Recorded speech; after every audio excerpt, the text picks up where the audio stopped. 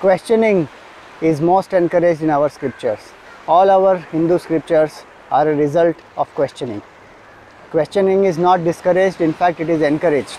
The Gita busts the myth that we need to have blind faith just because the scriptures say, or just because some authoritarian figure has told us. The Gita asks us, Pariprashna, go to the teacher, ask questions. So, asking questions is a very important aspect. Growth happens through that. Our beliefs transform into convictions through that.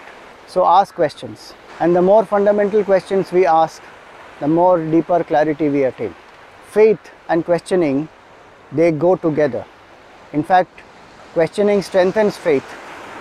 Many people think that if we are questioning, we don't have faith, or we are non believers, or agnostics. But the fact is, when we question, our convictions become stronger. Belief transforms into conviction when we question, get the answers, reflect upon it. The definition of faith is belief reinforced with conviction is faith. Belief could be blind, illogical, not rational, scientific, but faith is never blind. Faith is always needed for the unknown. For the known, there is no need of any faith.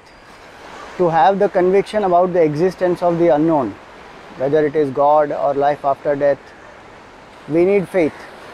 And that faith comes when we question, when we get logical answers, when we reflect upon the time tested wisdom of the scriptures, when we go through the lives of great masters, achievers, saints, sages, and see how they have experienced it. Shruti, Yukti, and Anubhuti. Using these three, our belief can transform into faith. And when that faith is there in us, then we attain supreme state of realization because faith brings a lot of intensity. And that intensity of seeking, when it is very high, it helps us to transcend the ego, transcend the boundaries of the mind and intellect. The questioning intellect gives way to an intuitive realization of the self. So, from logic, we go into intuition. This journey from non believer to believer, from believer to a seeker who has faith, and from a seeker to a self realized person is what the Gita talks about. Hence, it busts the myth that we should never ask questions. When we are ignorant, we must ask questions. And if we keep doubting without reflecting, just for the sake of doubting, then one perishes. Agnyascha ashraddhadhanascha samshayatma vinashyati. One who is ignorant, who does not want to seek answers, does not want to question, does not want to even reflect upon the answers that the wise people give, the experienced people give, and just keeps doubting for the sake of doubting, that person perishes.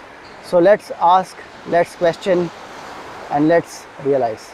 If you have many questions and you want to understand more, join us in the study of the Gita through the Gita 700.